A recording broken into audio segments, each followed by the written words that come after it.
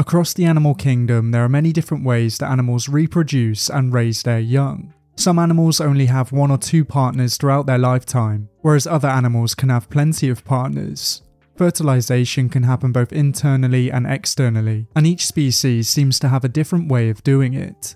When it comes to raising young, some animals will only have a few offspring but will exhibit a lot of parental care, whereas other creatures will lay hundreds, if not thousands, of eggs and show no parental care. There's no right or wrong way to reproduce and raise your young, and certain strategies suit different animals for different reasons. Unfortunately, for some animals, it's difficult to find a mate and reproduce, as some animals are critically endangered, and some animals live in very remote areas where it's hard to find a mate. If you're a male, in most cases, this means it's game over and you're unable to reproduce. But for some animals, if you're a female, this may not be the case. You're implying that a group composed entirely of female animals will breed? No, I'm, I'm simply saying that life uh, finds a way. Some animals are able to reproduce asexually, and this type of reproduction does not involve the fusion of gametes or change in the number of chromosomes. This means that some animals can essentially self fertilize, but there are many different forms of asexual reproduction. Asexual reproduction is relatively common in the insect world, but in today's video I will be focusing on large animals that are capable of asexual reproduction. The first group of animals we will be taking a look at are the pythons, and this family of snakes is quite diverse. Pythons can be found in Africa, Asia, and Australia, and some members in this family are among the largest snakes in the world. There are 10 genera and 39 species, and the two largest pythons are the reticulated python and the Burmese python. The reticulated python is longer, but the Burmese python is generally heavier. These two snakes feed on a wide variety of animals, but they seem to prefer small to medium sized mammals. These two snakes are among the few snakes that can kill and consume a human, but fatal attacks on humans are extremely rare. Not all python species are known to be able to reproduce asexually, but there have been a few examples. Back in 2020, in a zoo in Missouri, a 62 year old ball python laid several eggs. In most cases, this wouldn't be the most exciting news, but this snake hadn't been in contact with a male for decades. It's possible that the female snake could have been storing sperm and waiting to fertilize her eggs, but this would mean that she had been doing so since the 1990s. Another theory is that it could have been a result of parthenogenesis, which is a form of asexual reproduction in which a female can produce an embryo without fertilizing an egg with sperm. This kind of asexual reproduction is very rare with snakes, but now and again it does happen. A similar occurrence happened at a zoo in Kentucky, but this time the snake was a reticulated python. In this instance, six pythons were produced, and it was the result of a virgin birth. The snake in question only shared an exhibit with another female, so there's no way that she could have mated with a male. Unfortunately for the native animals of Florida, it also appears that the Burmese python can reproduce in this way, and this might be one of the many reasons why they've been such a successful invasive species in Florida. The next group of animals we will be taking a look at are the sharks. Sharks are once again another diverse group of animals, and each species is adapted to a different way of life. There are some that belong in the open ocean, and there are others that spend most of their time on the sea floor.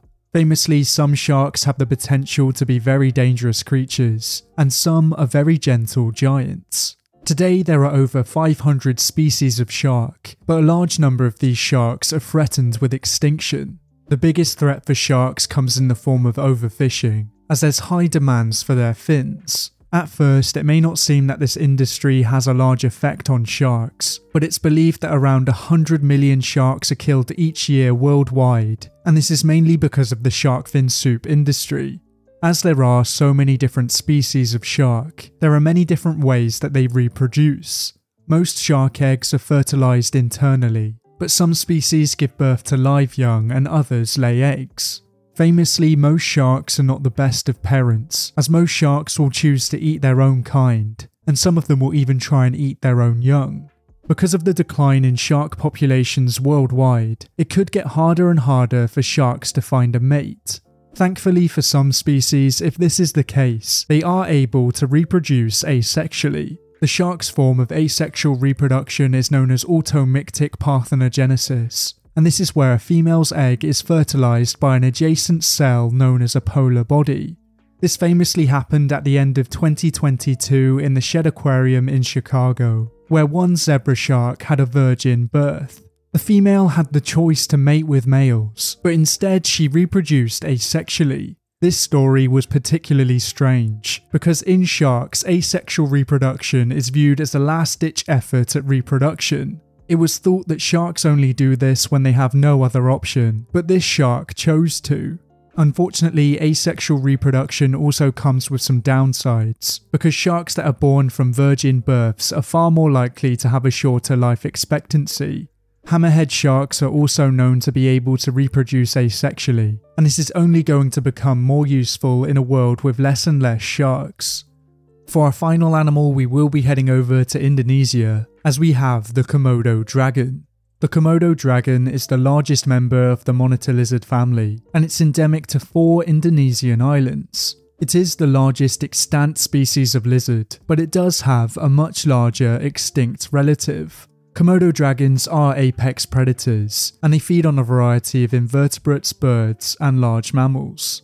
To help them take down these animals, they are mildly venomous, and in some very rare cases, they have been known to take down humans. In the wild, mating usually occurs between May and August, with the eggs being eventually laid in September. During this time, the males will fight over females, and some will even grapple with each other on their hind legs.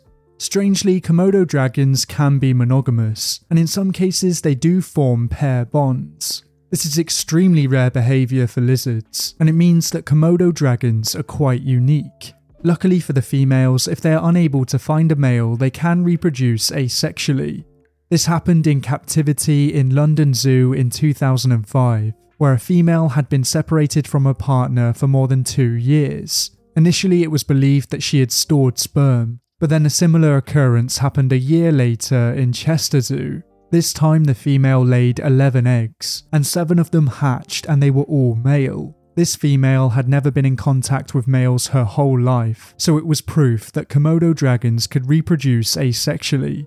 This is very good news for the Komodo dragon as a species, as they are currently listed as endangered. This ability may make it easier for them to bounce back, and hopefully we'll get to see more Komodo dragons in the wild in the future.